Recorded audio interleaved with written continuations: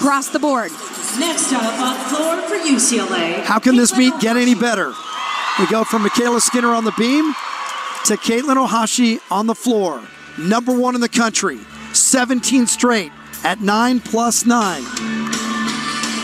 KO. Crowd pleasing first tumbling pass, that double layout with the split in the middle. And this is where it gets fun.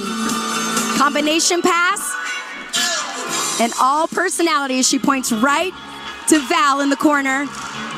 Coming in, I wondered how this Utah crowd would react to the floor. They're a savvy bunch. They love great gymnastics, but they know that Katelyn Ohashi can get your heart racing and then break it with a huge score.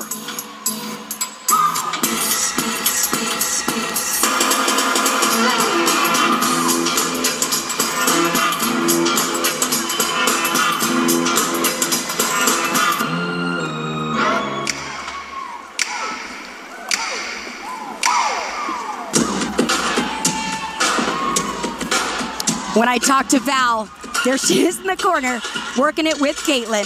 She said, You know, I think I figured out the perfect equation that makes a floor routine go viral. I said, Well, are you going to share the secret? And she said, Well, it's all about music. And you've got to have relatable choreography, which I think a lot of these moves we could all get out on the dance floor and do, and it makes it so fun to watch.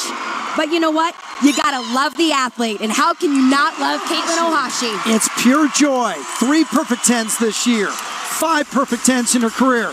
And even the Utah fans grudgingly accept that that is something special. Watch this first tumbling pass. You see double layouts. You don't see many that throw the split in the middle. She comes right back with the combination pass, and this is where the party starts on this floor routine. She dances right out of this and starts throwing some personality around. This last tumbling pass always wows everybody because she drops right to the splits.